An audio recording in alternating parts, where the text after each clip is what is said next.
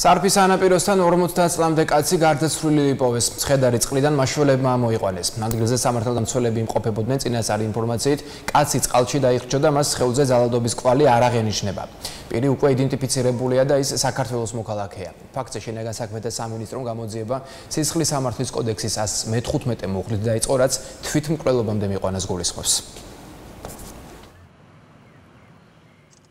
ჩვენი მისთვის დროს შემთხვევის ადგილზე გაირკვა რომ დაახლოებით დილის 6 საათისთვის ანიშნული მამაკაცი ნასვამ მდგომარეობაში შევიდა საბანაოდ და შემდგომ უკვე რამოდენიმე წუთის შემდეგ გაუჩინარდა. კატეგორიულად დაუშვებელია ნასვამ მდგომარეობაში და ნაბახუსებზე ბანაობა. და სტატისტიკა მეტყოლებს რომ დაახლოებით 90% აღნიშნული ფაქტები ფატალური შედეგით სრულდება.